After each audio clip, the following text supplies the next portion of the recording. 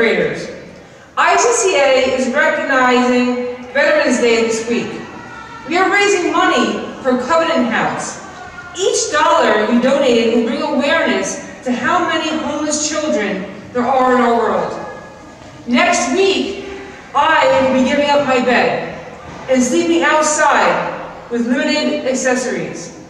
If you wish to donate more than the dollar that you donated for Fatigue Day, please send it in with your child labeled Covenant House. Thank you in advance for your support.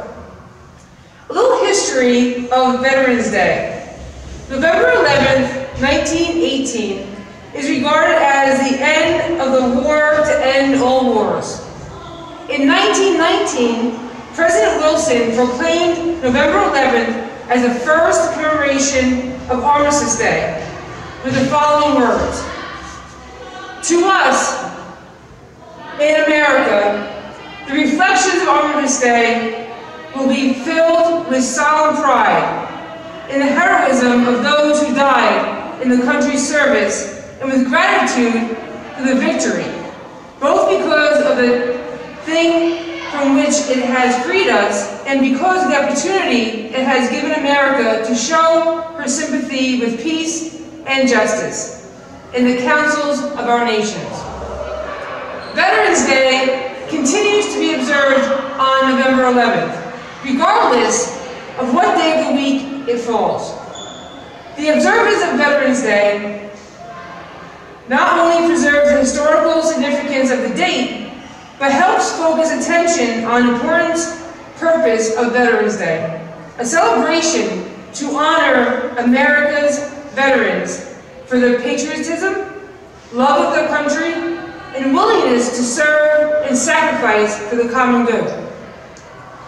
Veterans Day honors all veterans. Therefore, there is no apostrophe when you spell it some academic information for our children. There is a difference between Memorial Day and Veterans Day. Memorial Day, we remember those who gave their lives for their country, particularly in battle. Veterans Day honors all of those who have served the country in war or peace, dead or alive. ICCA thanks all the men and women who have served and continue to serve our country. In the Father, and of the Son, and Holy Spirit. Amen. Dear Father, bless our veterans and all who serve our nation, defending our freedom. For those who bravely gave their lives, grant them eternal rest. For those who are serving, give them courage. For those who served, we offer our gratitude. We ask this through Christ our Lord. Amen. In the name of the Father, and of the Son, and the Holy Spirit. Amen. Have a wonderful weekend, everyone.